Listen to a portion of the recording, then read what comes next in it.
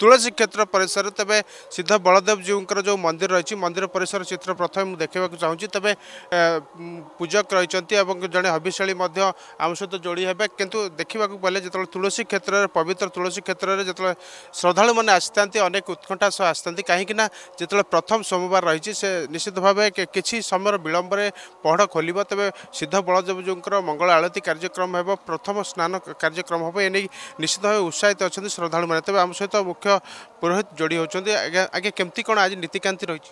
ନୀତି ଆମର ସବୁଦିନ ଯାହା ହେବା କଥା ହେବ। ନୀତିରେ ଆଉ ବର୍ତ୍ତମାନ କାର୍ତ୍ତିକ ମାସ ମଙ୍ଗଳା ଆଳତୀ ପ୍ରଥମ ହେବ। ମଙ୍ଗଳା ଆଳତୀ ପରେ ଠାକୁର ଓଲାଗି ହେବେ ଯେଉଁ ଭେଷ ବର୍ଷିଆର ଭେଷ ଓଲାଗି ହେବେ। ଓଲାଗି ପରେ ମହାପ୍ରଭୁଙ୍କ ଗାଧୁଆ ଭେଷ ହେବ। ତାପରେ ନୀତି ସ୍ନାନ ହେବ। ନୀତି ସ୍ନାନ ପରେ ପୁଣି ଭେଷ ହେବ। ବାଳ ଧୂପ ବା ବଲ୍ଲଭ ଧୂପ ହେବ। ଧୂପ ପରେ ଖେଚୁଡ଼ି ଧୂପ ହେବ। ଆଉ ଗୋଟିଏ ଏକ୍ସଟ୍ରା ନୀତି କାର୍ତ୍ତିକ ମାସରେ ହୁଏ ଯେଉଁଟାକୁ ଆମର କୁହାଯାଏ ଦାମୋଦର ରାଇ ଦାମୋଦର। ସେଇ ଧୂପଟି କରାଯିବ ଆଉ ସେ ବେଶଟି ଅଧିକ ହେବ। ତାପରେ ସନ୍ଧ୍ୟା ଆଳ- ଏଇ ବିଶେଷତ୍ୱ ହେଉଛି ଯେ ଏଇ ଯେଉଁ ଧୂପ ସବୁ ହେବ ଇଏ ସିଂହାସନ ଉପରେ ହିଁ ହେବ। ଆଉ ତଳେ ଯେଉଁ ଧୂପ ହେଉଥିଲା ଆଉ ହେବନି। ଏଇ ମାସକ ଯାକ ଆଉ ତଳେ ବସିକି ଯେଉଁ ପୂଜା ପଣ୍ଡାମାନେ ଧୂପ କରନ୍ତି କରିବେନି। ସେ କୁଶ ଆସନରେ ସିଂହାସନ ଉପରେ ଧୂପ କରାଯିବ।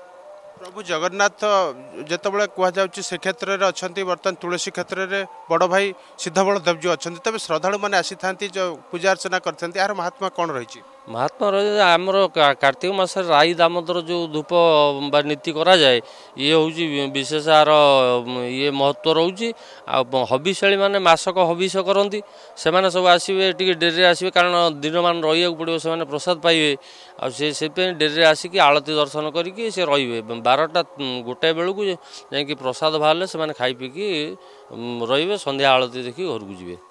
ତ ଜଣେ ଶ୍ରଦ୍ଧାଳୁ ଆମ ସହିତ ଯୋଡ଼ି ହେଉଛନ୍ତି। ଆଜ୍ଞା ଆପଣ ମଧ୍ୟ ଆଜି ପ୍ରଥମ ସମୟରେ ଆସି ପହଞ୍ଚିଛନ୍ତି ତେବେ କ'ଣ କହିବେ? ନାଇଁ ନାଇଁ ମୁଁ ଏଇ କାର୍ତ୍ତିକ ମାସର ପ୍ରଥମ ସୋମବାର ପ୍ରଭୁ- ଆରାଧ୍ୟ ଶ୍ରୀ ବଳଦେବଜୀଙ୍କର ଦର୍ଶନ ପାଇଁ ଆସିଅଛି ଏବଂ ମୁଁ ହବିଶାଳୀ ଜଣେ ଏବଂ ଆଉ କିଛି ସମୟ ପରେ ମନ୍ଦିର ଖୋଲିବ ସାଢ଼େ ଛଅଟା ବେଳକୁ କିନ୍ତୁ ବର୍ତ୍ତମାନ ଆଉ ଅନେକ ଭକ୍ତ ମଧ୍ୟ ଆସିବେ ଅନ୍ୟ ଓଷାଳି ଆସିବେ। କାର୍ତ୍ତିକ ମାସରେ ଯେଉଁ ଇଏ କରୁଛନ୍ତି ଠାକୁରଙ୍କର ଜୟମଙ୍ଗଳ ଆଳତୀ ଦେଖିବେ। ଆଳତୀ ସରିଲା ପରେ ତାଙ୍କର ଗାଧୁଆ ନୀତି କାନ୍ତି ଯେଉଁ ଆରମ୍ଭ ହେବ ଆରମ୍ଭ ପରେ ମଧ୍ୟ ଭୋଗ ସାମଗ୍ରୀ ଲାଗିବ। ତେଣୁ ଇଏ କରିକିରି ଆମେ ଓଷା ଇଏ କରିକିରି ଆମେ ଠାକୁରଙ୍କ ଦର୍ଶନ କରିକିରି ବହୁତ ବାଟରୁ ସବୁ ଯେଉଁ ଆସିଥିବେ ଭକ୍ତବୃନ୍ଦ ମାନେ ବସି ହବିଶାଳି ଏଠି ପ୍ରସାଦ ପାଇକିରି ଆମେ ଯିବୁ। ଆମ ସହିତ ସେଇ ମୁଖ୍ୟ ଯିଏ ରହିଛନ୍ତି ପୂଜକ ତାଙ୍କ ସହିତ ଆମେ କଥା ହେବା- ଆଲୋଚନା କରିବା। ଆଜ୍ଞା କି ଶ୍ରଦ୍ଧାଳୁଙ୍କ ସଂଖ୍ୟା ଯେତେବେଳେ ବୃଦ୍ଧି ପାଏ ତେବେ ଆପଣମାନଙ୍କର କ'ଣ ପ୍ରଚେଷ୍ଟା ଥାଏ? ମନ୍ଦିର ପ୍ରଶାସନର କ'ଣ ପ୍ରଚେଷ୍ଟା ଥାଏ? ଆଜ୍ଞା ମନ୍ଦିର ତରଫରୁ ସେମାନଙ୍କୁ ହବିଶାଳୀଙ୍କ ପାଇଁ ବ୍ୟବସ୍ଥା କରାଯାଏ। ସେମାନେ ପ୍ରସାଦ ସେବନ କରନ୍ତି ଆଉ ମାସକ ସାରା ହବିଶାଳୀ କରନ୍ତି। ଆଉ ଗୋଟେ ଏକ୍ସଟ୍ରା ଏଠି ଆକାଶ ଦୀପ ଲଗାଯାଏ। ଠାକୁରଙ୍କୁ କାର୍ତ୍ତିକ ମାସରେ କାର୍ତ୍ତିକ ମହାତ୍ମା ହୋଇଯାଏ ଆଉ ସନ୍ଧ୍ୟାବେଳେ ଆଳତୀ ପରେ ଆଗେ କା- ଆକାଶ ଦୀପ ଗୋଟେ ଲଗାଯାଏ ଆଳତୀ ପୂର୍ବରୁ। ସେ ଆକାଶ ଦୀପଟା ମାସକ ସାରା ଲଗାଯାଏ। ଆଉ ରାଇ ଦାମୋଦର ଯେଉଁ ଧୂପ ହୁଏ ଏଇଟା ହେଉଛି ଏକ୍ସଟ୍ରା ଷୋଡ଼ଶ ଉପଚାର ଧୂପ ପରେ ଧୂପ କରାଯାଏ। ଏଇଟା ହେଉଛି କାର୍ତ୍ତି- କାର୍ତ୍ତିକ ମାସର ମୁଖ୍ୟ ଧୂପ। ଆଉ ଜଣେ ବୟସ୍କ ବ୍ୟକ୍ତି ମଧ୍ୟ ଆମ ସହିତ ଯୋଡ଼ି ହେଉଛନ୍ତି। ଆଜ୍ଞା ଆପଣ ଆସିଥିଲେ ଆଜି ହେଉଛି ପ୍ରଥମ ସୋମବାର ଯେତେବେଳେ କୁହାଯାଉଛି କାର୍ତ୍ତିକ ମାସ। କେତେ ଆନନ୍ଦିତ ଅଛନ୍ତି ଏବଂ ସିଦ୍ଧ ବଳଦେବ ଜୀଉଙ୍କୁ ଯେଉଁ ଆପଣ ଦର୍ଶନ କରିବାକୁ ଆସିଛନ୍ତି ଏ, କ'ଣ ମହାତ୍ମା ରହିଛି? ମହାତ୍ମ୍ୟ? ଆଜ୍ଞା ଗୋଟେ କଥା ମୁଁ ଯେତିକି ଅନୁଭବୀ ମୁଁ ଜାଣୁଛି ମହାପ୍ରଭୁ ମୁଁ ଅଂଶା କରି କହୁଛି ସତ୍ୟ ତ୍ରିବାର ସତ୍ୟ କରି ଅଶୀ ବର୍ଷର ବୟୋଜ୍ୟେଷ୍ଠ ଲୋକ ମୁଁ ଆନନ୍ଦରେ ଅଛି ଠାକୁର ମୋତେ ଆନନ୍ଦ ରଖିଛି।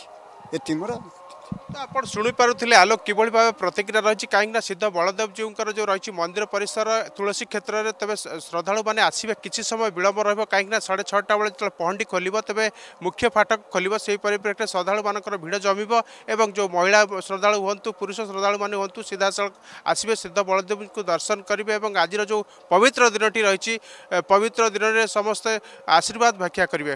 ଆଲୋକ।